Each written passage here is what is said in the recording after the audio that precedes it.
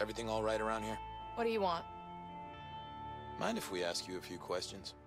Yeah, I do mind. I'm kind of busy here. Yeah, I'm busy.